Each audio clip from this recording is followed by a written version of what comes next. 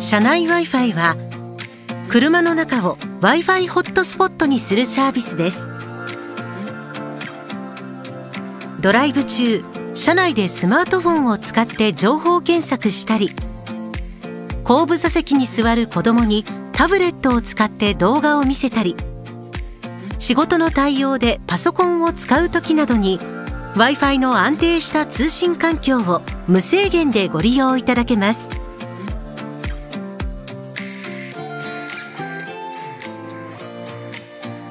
車内 Wi-Fi をご利用になるにはサービスの購入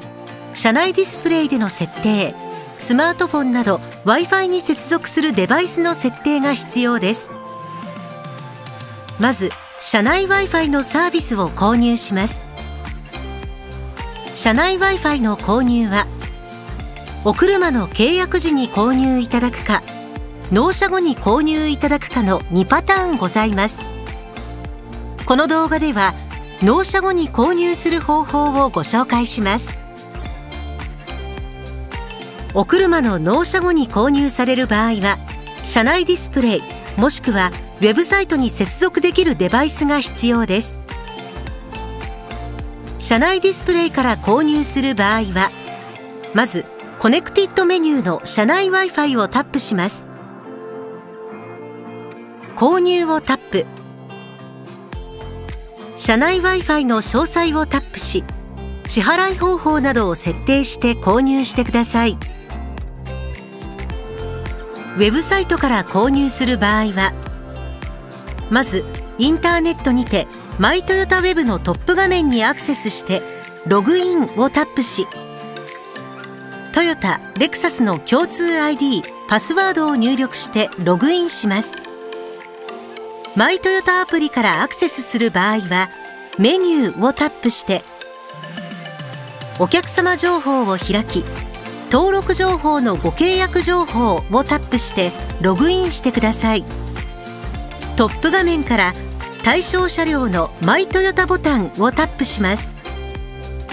対象車両のガレージ画面が開いたら下の方にスクロールしお支払い方法の右にあるプラスをタップします。すでに登録されているお支払い方法を変更する場合には変更をタップします。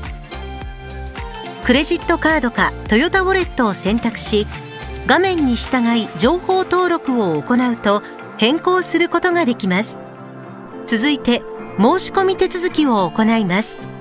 画面を下にスクロールしテレマティクスサービス契約情報からご契約プランの右のプラスをタップします。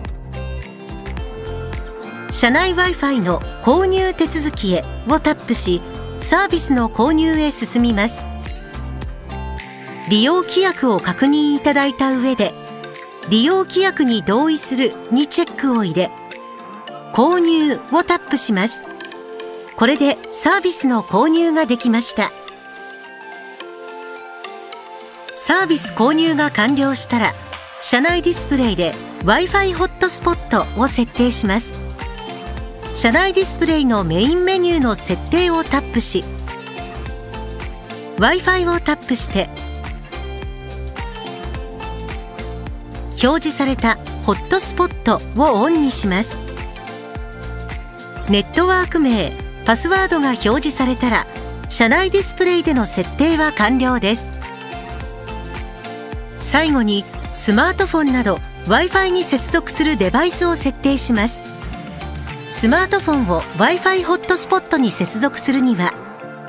スマートフォンの設定画面を開き Wi-Fi をタップ。車内ディスプレイに表示されたネットワーク名をスマートフォンのネットワーク表示から選択し車内ディスプレイのメインエリアに表示されたパスワードをスマートフォンに入力すれば社内 Wi-Fi に接続完了です社内 Wi-Fi により安定した通信環境を整え快適なドライブをお楽しみください。